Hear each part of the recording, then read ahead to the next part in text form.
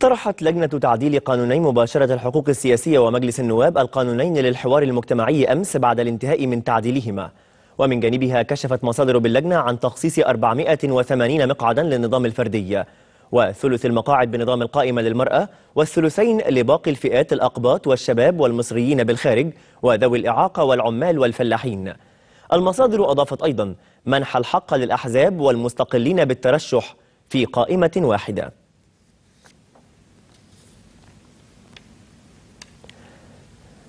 وعلى الصعيد الأمني أكد وزير الداخلية اللواء محمد إبراهيم استعداد قوات الشرطة لتأمين الانتخابات الرئاسية الأسبوع المقبل محذرا جماعة الإخوان من أي محاولة لاستهداف يومي التصويت.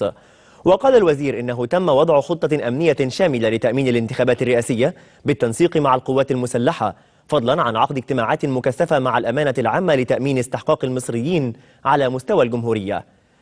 وطلب الوزير جموع الشعب بالنزول إلى صناديق الاقتراع للإدلاء بأصواتهم دون التخوف من أي أعمال ترهيب أو عنف تقوم بها أي جهة لمنع وصول المصريين إلى استحقاقهم الثاني. وعن الأمن في الجامعات قال الوزير إن جهاز الشرطة حريص على عدم إقحام الأمن داخلها رغم أن هناك حكما قضائيا بعودة الحرس الجامعي مؤكدا أنه تم عمل تقرير أمني بضرورة إغلاق المدينة الجامعية بالأزهر حتى انتهاء انتخابات الرئاسة.